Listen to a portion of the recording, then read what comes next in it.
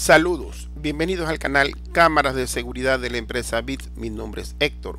En esta oportunidad vamos a compartir un dispositivo que se añade a los grabadores al XBR de la marca Dawa que es caja de alarmas. ¿Qué es? ¿Para qué sirve? ¿Cómo se instala el hardware y cómo se configura el software? Nosotros estamos en Guayaquil, Ecuador. Si tienes algún tipo de proyecto de instalación para casa, para empresa, para el campo, etcétera, te doy mi número de mi WhatsApp que me puedes contactar. Nosotros actualmente la empresa Dagua saca sus grabadores, pero ya no vemos que viene entrada y salida de alarma. Este tipo de dispositivo que lo vamos a añadir me va a permitir es colocar 16 entradas. Significa que puedo poner un PIR, puedo poner un contacto magnético, etcétera. Y va a tener 5 salidas. Puedo poner sirena, puedo poner un estrobo, etcétera. Este es un producto que se le conoce como Alarm Box. Aquí tengo la ficha técnica. Entonces, este es un dispositivo que lo voy a añadir. La condición para que funcione son, primero, debe de ser, es un grabador serie X, o sea, un XBR, que son los de color oscuro, ¿no verdad? Los que se pueden poner micrófono, perdón, cámaras con micrófono en todos los canales.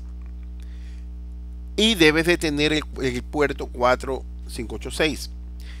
Este es el puerto. Entonces, nosotros tenemos la frontera, vamos a tener cuando conectemos la fuente de poder va a tener power este es el botón de actividad. Cuando ya se enlace, se vincule, se relacione, ya lo detecte, lo va a comenzar el botoncito de aquí a parpadear de color verde. Eh, nos permite colocar hasta cuatro cajas. Este jumper va 1, 2.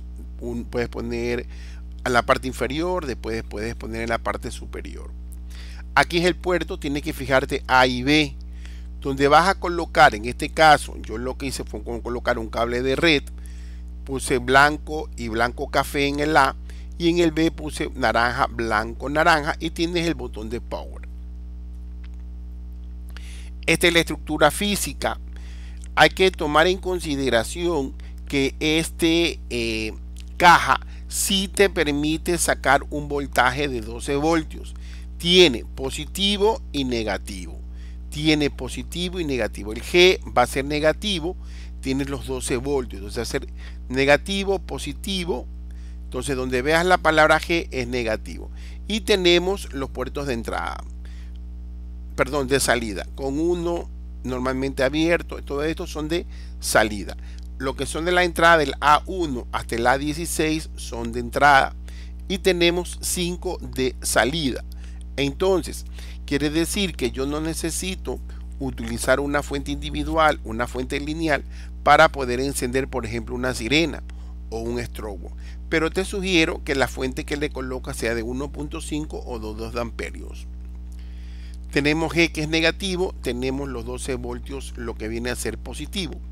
Y sabemos que vamos a necesitar para activar la sirena o el estrobo va, como es uno de salida, va a trabajar con C1N1, C2N2. Esa es la parte de instalación. Yo saco la caja, coloco, lo enciendo, veo que el foco rojo se me comienza a encender, me parece prendido. Yo lo coloco en los puertos 4, 5, 8 en, el grabador, también en la caja box, si coloco naranja y blanco naranja en el A, tengo que poner naranja, blanco, naranja en el grabador, en los mismos puertos. Estoy utilizando un grabador 58, 5108 HS4KL. Aquí está la forma como lo, lo coloqué, tanto en el, la caja box como en el grabador. Veo que ya comienza a parpadear, significa que ya hay conectividad que ya está enlazado. Pero, ¿cómo sería la interfaz cuando no tenía la caja y cuando sí tenía la caja? En alarma, si yo me iba acá donde dice alarma, puerto de entrada y tengo puerto de salida. Si yo le hubiera puesto puerto de entrada, él me decía que no había sin canales conectados.